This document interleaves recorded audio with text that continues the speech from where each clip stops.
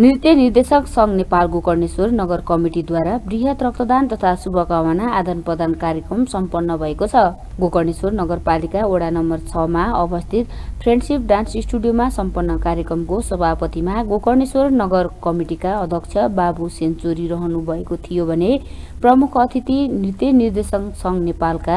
केन्द्रीय अध्यक्ष भुवन दास श्रेष्ठ रहनु भएको थियो। अतिथिहरूमा केन्द्रीय सह कोषाध्यक्ष केशव कोइराला कार्य समिति सदस्य बुद्ध लामा बागमती प्रदेशका अध्यक्ष कल्पना राचल सचिव पवि कर्माचार्य काठमाडौँ जिल्ला शाखाका अध्यक्ष सरस्वती पोखरेल उपाध्यक्ष छिरिम लामा कोषाध्यक्ष निरु भुयाल ललितपुर जिल्ला शाखाका अध्यक्ष प्रदीप रमण सिंह ढङ्गोल भक्तपुर जिल्ला शाखाका अध्यक्ष नारायण थापा मगर निवर्तमान अध्यक्ष चुडामणि फुयाल सचिव समीर शङ्करदेव प्रजापति चन्द्रगिरी नगर कमिटीका अध्यक्ष कृष्ण राणा मगर सचिव कृष्ण विराज भट्ट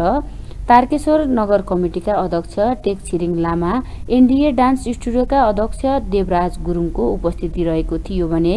रक्तदान कार्यक्रममा करिब पच्चिसजना रक्तदाताले रक्तदान गर्नुभएको थियो।